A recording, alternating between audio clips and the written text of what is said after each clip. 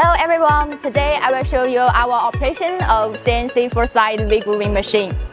First, put the steel plate on the work table, align with the horizontal and vertical reference surfaces, and then stop on the foot switch.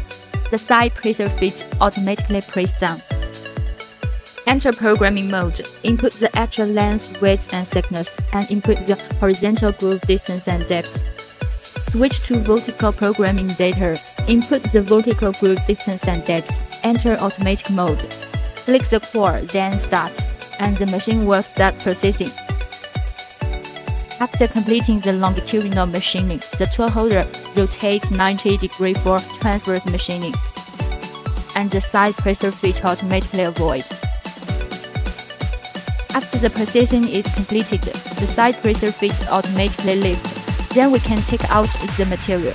This operation is quite simple, isn't it? If you need anything, feel free to contact us. Bye bye.